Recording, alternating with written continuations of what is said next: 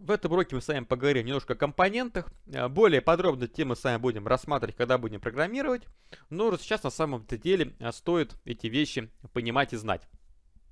Что такое вообще компоненты? Компоненты — это своего рода дочерние элементы. Причем под дочерними элементами могут быть на самом-то деле самые-самые разные элементы. То есть это могут быть какие-то звуки, могут быть какие-то источники света, могут быть э, другие какие-то объекты.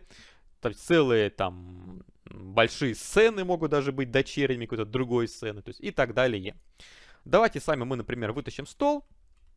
Вот, и мы можем с вами обратить внимание, вот в, этой, в этом окошке, тут у нас, видите, вот есть вот этот вот стол, а у него есть дочерний, как бы, элемент, как раз который является static mesh component.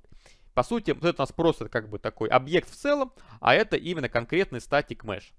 Вот. Но помимо того, что с вами имеет static mesh в виде стола, мы можем с вами добавить еще какой-нибудь объект, ну, например, добавим мы с вами э, particle system, да, то есть это некие частицы. Причем э, видно, что они тут, э, их нельзя, например, сделать на том же уровне static mesh, то есть они должны стать именно внутрь static mesh компонента, да, то есть его нельзя сделать э, на том же уровне. То есть это у нас именно родительский компонент, а это идет уже дочерний компонент. Причем также мы с вами можем добавить э, еще, допустим, источник света, да, и его-то мы сможем уже без проблем сделать на том же уровне. То есть теперь у нас, видите, static mesh component а, родительский компонент, particle system дочерний и point light, а, соответственно, тоже дочерний. Вот, ну, static mesh component. То есть такое, э, такое дерево можем без проблем создавать. Ну и давайте, например, particle system поставим какой-нибудь огонь. Да, и также с вами, безусловно, мы сейчас его а, поднимем. Куда-нибудь вот сюда вот.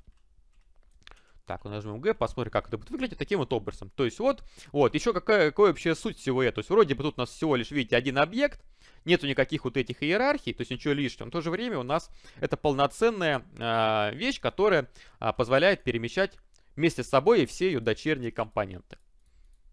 Вот таким образом это работает. Ну, свет потом мы с вами будем изучать, все это будем проходить, мы с вами делать, это не проблема для нас пока что сейчас. Да, то есть вот таким вот образом.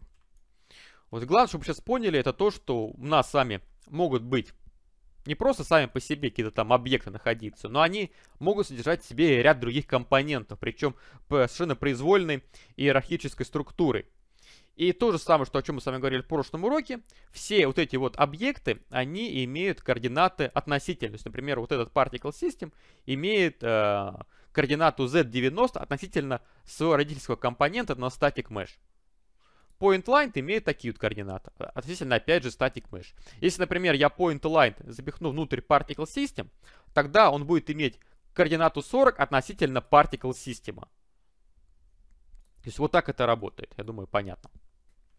Вот. Ну и особенно важная эта информация будет тогда, когда мы с вами будем проходить уже программирование. Вот там вот это используется очень часто, и там действительно очень многие путают. То есть они путают, они не понимают, так какие координаты? 90 по z или же все-таки 260? Вот, вот эти вот вещи надо четко понимать и знать, э, какие функции там правильно вызывать и так далее. Это очень важная вещь.